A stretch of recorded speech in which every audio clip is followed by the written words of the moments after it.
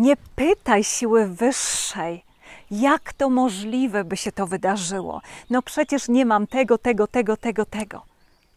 Siły wyższe, anioły światła, one znają rozwiązanie. I nawet jeżeli w Twojej głowie nie widzisz szansy, by coś się wydarzyło, to one już zrobią wszystko, by to się wydarzyło. Czy nie zadawaj sobie pytania, jak to się wydarzy, tylko ufaj i wierz w to, że się wydarzy. A siły wyższe już znajdą właściwą drogę, by Twoje cele, cele Twojego serca stały się rzeczywistością. Dzisiejsze przesłanie na naszą 156. ceremonię to dokładnie trzy wskazówki. Pierwsza opanowanie. Panowanie nad swoimi emocjami, usuwanie tych negatywnych, usuwanie odczuć paniki, strachu. Opanowanie, panowanie to władanie Twoim królestwem.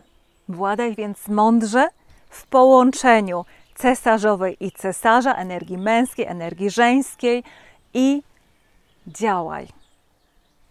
Ufaj, proś i wizualizuj, wyobrażaj sobie, że cele Twojego serca stają się rzeczywistością, a tak się stanie. I drugie przesłanie wiedza, mądrość i fokus na cel bez względu na to, co dzieje się wokół. Bez względu na to, ty wiesz, że jesteśmy w czasie apokalipsy i to jest dopiero początek. Bez względu na to, co dzieje się wokół, koncentruj się na tym, co jest dla ciebie naprawdę ważne, dla twojego serca.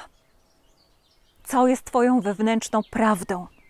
Idź zgodnie z twoją wewnętrzną prawdą a cała mądrość arcykapłana aktywuje się w tobie i z tą energią, jako mak, wpłyniesz na ten świat i ukształtujesz wszystkie Twoje marzenia i wszystkie Twoje cele. I tego życzę Ci z głębi mojego serca. Idź w pełnym zaufaniu, że siły.